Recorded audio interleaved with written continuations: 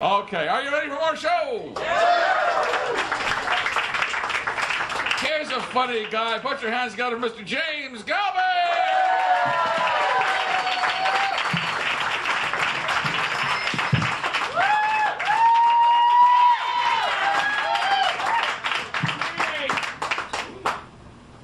So how's everyone doing tonight?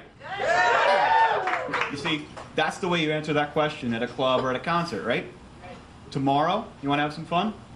Answer that question like you did tonight. You pass by the boss in the hallway, he gives you a, hey, how you doing? You just go, woo! Phone rings, bring. Hello? Jimmy, it's Grandma. Oh, how you doing? Fuck yeah! Awesome!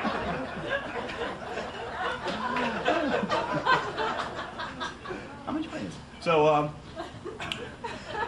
my wife and I had a little open dialogue uh, not too long ago in which we came to a decision that I would have a vasectomy.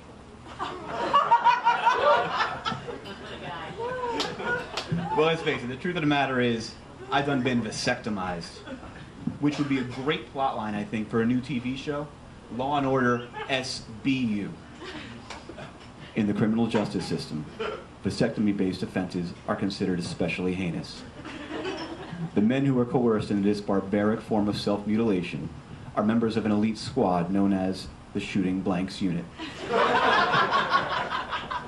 These are their stories. Dun dun.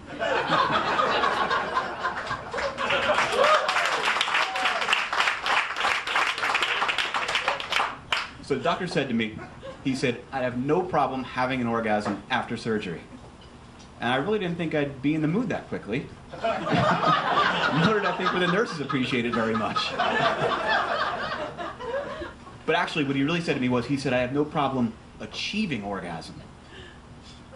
If orgasm is an achievement, then my guidance counselor was way wrong. I'm a tremendous overachiever.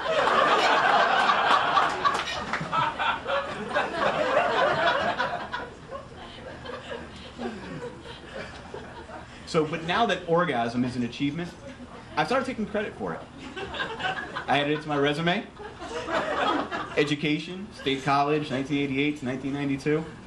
Achievements, orgasm, 1985 to present.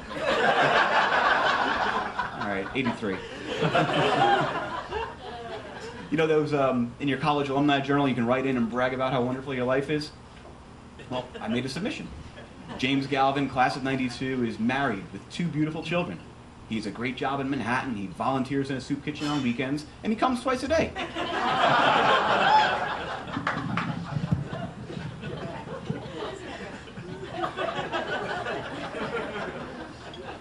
My daughter came home from school the other day, and she said, and she's six years old, and she said, Dad, Connor says that Hannah Montana is sucksy. And it took me a second to realize she meant sexy. And now I had to explain sexy to my six year old. So I sat her down and I said, honey, I think what Connor meant to say is that he wants to fuck Hannah Montana.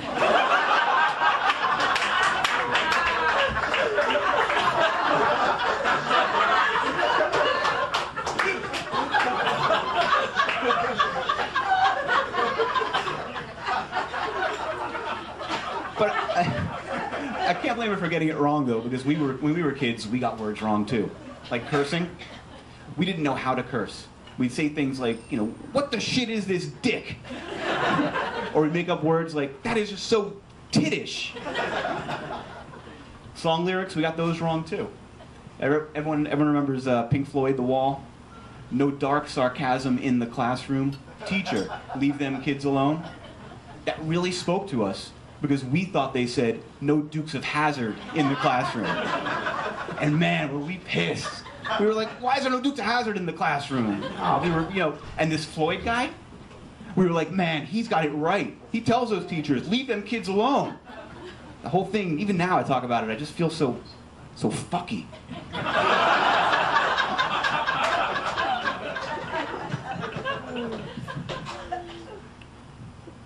I love Canadian sports teams, but they've got the worst named teams in sports. American teams have got it right. They go with big, strong names like the Vikings, the Rams, and the Lions. But then American teams went biblical and got a little off track. The Los Angeles Angels. If you translate the Los Angeles Angels into English, it means the the Angels Angels. it's like the work of a stuttering priest. The New Jersey Devils, because nothing goes better on ice than a guy with a flaming pitchfork. But far and away, Canadian teams, especially Toronto, have got the worst names. In basketball, we've got the Raptors. Ferocious, but extinct.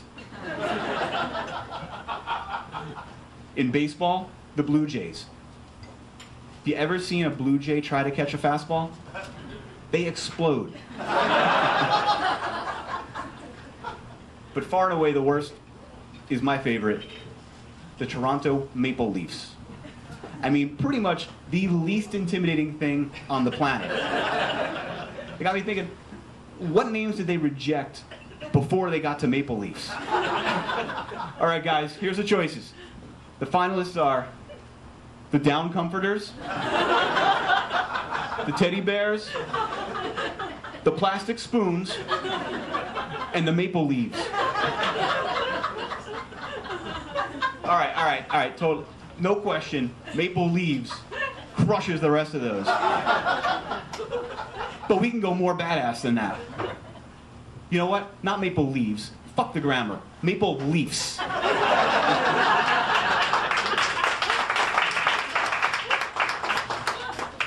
But the toughest part of being a Leafs fan is it's very hard to talk smack.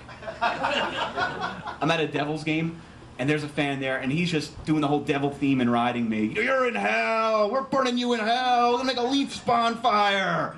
And you know, my first response was not all that strong. I came out with, "Yeah, man. Well, we're gonna like photosynthesize your ass." That didn't shut him up. But then it hit me. I got up, I pointed at him, and I said, All right, man, first, we're going to turn really pretty colors.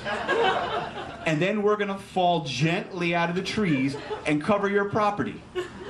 And then your wife is going to send you outside to blow us.